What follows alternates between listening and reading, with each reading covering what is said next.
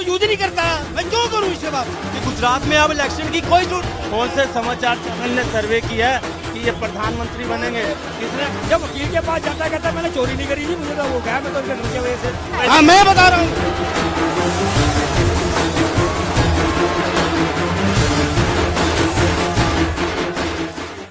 कि वो कट्टर ईमानदार हैं उनके पास ऐसा कुछ भी नहीं मिला तो उस पर आप क्या कहना चाहेंगे? देखो जी वो कट्टर ईमानदार है तो पहले बताओ आबकारी पॉलिसी जो पहले इंट्रोड्यूस करी थी उसको रोल बैक क्यों किया और फिर वापस क्यों ले आए? और जो वहाँ पर जो अभी इनके जो जो कमीशन लिए जो दिनेश अरोड़ा अमित अरोड़ा जो इनके करीबी नज़दीक जो एसोसिएट्स हैं उनको कमीशन दी गई है और 144 करोड़ जो है उन्होंने कैसे माफ़ कर दिया? जो लेकिन मनीष सिसोदिया जी कह रहे हैं कि जो उनके पास सीबीआई का जो नोटिस गया उसमें एक करोड़ का कहीं ज़िक्र ही नहीं है। अरे ऐसे कैसे नहीं ज़िक्र है 144 कोड दिए तो पूरे पूरा ओपन फैक्ट है और दो आरोपी इसी चक्कर में बाहर भाग गए हैं वो। और इनके खिलाफ भी लुकआउट सर्कुलर निकल गया। आपको पता है ना लुकआउट सर्कुलर वो कभी विदेश से बाहर लुकआउट बाहर सर्कल के बाद वो तो ये कह रहे हैं कि मुझे कहाँ आना है बताओ मैं आने को तैयार हूँ मैं दिल्ली तो में वो सभी करते हैं आने के तैयार है। अब मेरे को ये बताओ ये तो ये भी कह रहे हैं मुझे अब बीजेपी ने ऑफ़र किया है कि आप मेरी पार्टी में आ जाओ। अब ये बताओ इनकी पार्टी में आ जाओ अब सीबीआई के पास इनके सारे डिवाइसेस सीज्ड है मोबाइल फ़ोन सीज्ड है और आपका लैपटॉप सीज्ड है। तो इनको कहाँ से, कौन से मोबाइल फ़ोन पे ऑफ़र आ गई है? किसके, इनके बीवी के मोबाइल फ़ोन पे आई है या इसके बच्चे के मोबाइल फ़ोन पे आई है? किस पे है? इतना झूठ बोलने झूठ बोलने से इतना, मैं कह रहा हूँ कि इतना झूठ ना बोले, पेट फट जाएगा। ये इनको, कभी कहते हैं जी बीजेपी डरी हुई है। हमारे क्योंकि उनको पता है। सिसोदिया जी ये कह रहे हैं कि जो मेन मुद्दा है वो सिसोदिया जी नहीं है। जैसे कि अब गुजरात चुनाव आ रहा है तो कहीं ना कहीं इसलिए उनके लिए शिकार बनाया जा रहा है। अरे गुजरात चुनाव से पहले वो पंजाब चुनाव भी आया था।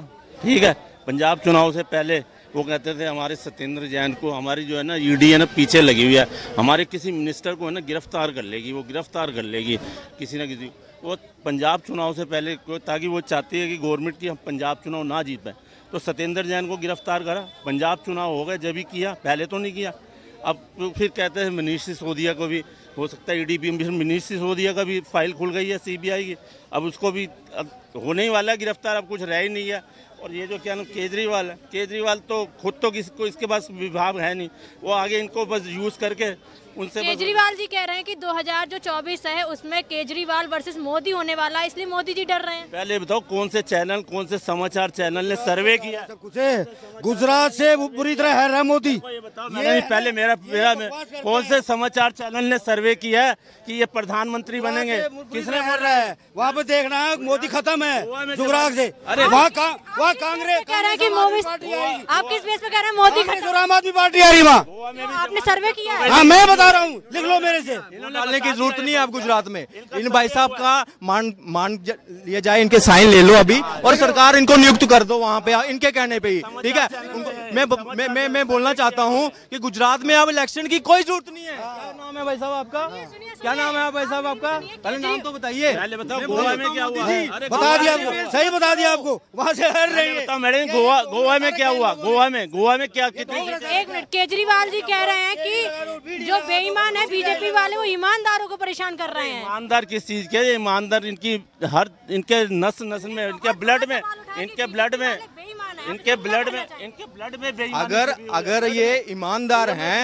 तो इनके जो साथ जो इनके साथी थे जो इनका पैसे का लेन देन करने वाले लोग थे जिनके साथ ये मीटिंग करते वो फरार क्यों हैं? आपसे भी एक क्वेश्चन है कि जब इनसे आबकारी नीति को लेकर सवाल उठते हैं तो ये शिक्षा नीति को क्यों ले आते हैं? अरे शिक्षा नीति है बच्चे हमारे पढ़ेंगे नहीं लिखेंगे तो क्या लेकिन सवाल तो आबकारी नीति को है ना घोटाले को लेकर आप शिक्षा नीति घोटाला तभी होगा ना जब वो मतलब हो जाएगा तो पता मतलब आपको देश को मुद्दे से अब रिपोर्ट आने दो बाद में पता लगेगा मुद्दे से है? हाँ, वो मुद्दों को भटकाना है और क्या है इनका? स्कूलों से निकल के लोग बाहर प्राइवेट स्कूलों में जा रहे हैं स्टूडेंट न्यूयॉर्क टाइम में आर्टिकल छपवाना। ठीक है? और उसको उसको फिर दिखाना शिक्षा मॉडल बात चल रही है यहाँ शराब नीति की।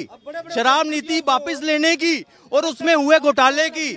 मगर मुझे एक चीज़ बताइए फिर एक पूरी स्क्रिप्ट लिखना। कि न्यूयॉर्क टाइम में दिल्ली मॉडल शिक्षा मॉडल अरे शिक्षा की मॉडल आपका कर लिया कर लिया आपने जितना खाना था खा लिया आपने दो बार सरकार बना ली उसकी। मुझे एक चीज़ बताइए इस घोटाले की बात करिए। आज आप अगर आपने घोटाला किया है तो फिर डर, अगर नहीं किया है तो डर